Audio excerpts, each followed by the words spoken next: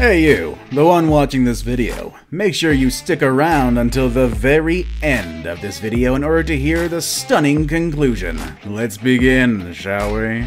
Went to take my pants off. She was like, no, you don't have time. So I just, which I kind of wish I did. But um, A person's wedding day is one of the most important days of their lives. It is a day that many couples invest not only thousands of hours, but tens of thousands of dollars in. But no matter how much planning goes into preparing for the special day, weddings provide a nearly unlimited number of opportunities for things to go wrong. From caterers to DJs, transportation to venues, you never know when one small change will throw everything else off schedule. Alabama features a number of beautiful public beaches and scenic views of the Mexican Gulf. The Gulf of Mexico is a central feature in the lives of many who reside along the Alabama coastline, and maybe no one more than Zach and Cindy Edwards. Zach was an officer with the United States Coast Guard as well as a marine scientist. The great love of his life had always been the ocean until he met Cindy. The two of them dated for some time while Zach was stationed at Sector Mobile in Alabama's Mobile Bay. Eventually, Zach knew that he didn't want to spend the rest of his life with anybody but Cindy, and he proposed to her beside the ocean, and soon the two of them set about planning the perfect wedding. At first, they discussed having a small family function, but as the planning continued, their ceremony became more and more lavish, and the guest list continued to grow. The couple decided to get married at Orange Beach. The spot was popular with locals who considered it a mecca for water sports. They were unable to close down a section of the beach for private use, so they set their sights on an area where they hoped to be out of the way and free of intrusions on their special day.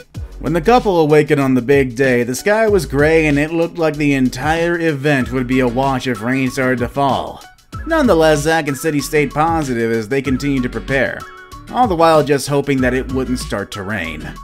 Just as setup began on the beach, however, the clouds parted and the sun shined through, helping to calm the bride and groom.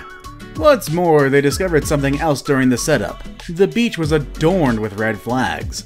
The flags are a statement to visitors that the water is unsafe for public use. Beaches around the United States use a system of flags to represent the level of danger that the water presents to the public. Green flags represent calm, safe conditions, while yellow flags represent a need to exercise caution, and a red flag represents danger and the closure of the beach. However, because many people ignore the flags, a double red flag is also used to symbolize extreme water conditions in which even experienced swimmers are likely to perish. For Zach and Cindy, the flags that day meant that the beach would be next to abandoned, and they had the ideal conditions for their big day. Zach and Cindy were married in a beautiful ceremony and were busy posing for pictures when Cindy noticed something alarming. I'll tell you what Cindy noticed in just a second, but first make sure you leave a like, subscribe, and hit that bell icon right now. After you click the bell, comment notification squad below, and I'll reply to all of you saying thanks. so I'm in the Coast Guard, um, and I was also a, a swim instructor at boot camp and a lifeguard for many years. So I'd teach recruits how to swim. The couple were posing for photos after saying I do, when Cindy spotted something in the water. It took a moment, but the couple immediately recognized that it was a young man fighting desperately to stay afloat. He was at least 300 feet offshore, and he was getting pulled out by the current.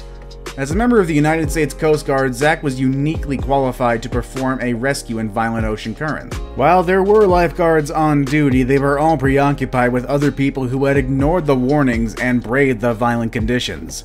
Zach was preparing to swim out to the victim when two other people jumped in the water. Neither one qualified for the conditions they were facing. Zach only had his shirt off, but he knew that removing his pants could cost the lives of not just the first victim, but also the other two people. Zach dove in with his pants on and swam out to the would-be rescuers. He took a boogie board from one of them and sent him back to the shore. The other person was a strong swimmer who ended up following Zach out against his advice.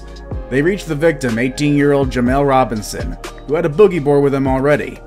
The two of them loaded Jamal onto the boards and began pulling him back toward land. Unfortunately, Zach's pants had become saturated, and he was quickly losing the ability to stay afloat. It would seem unlikely that he would make it back. Just then, a lifeguard team who had been working with another victim approached them on a jet ski. Together, they were able to pull Zach, Jamel, and the other rescuers back to land. And that's our story for today, everybody. I hope you enjoyed it. If you did, click on one of the other two videos being shown currently, and I do hope you all have a good day.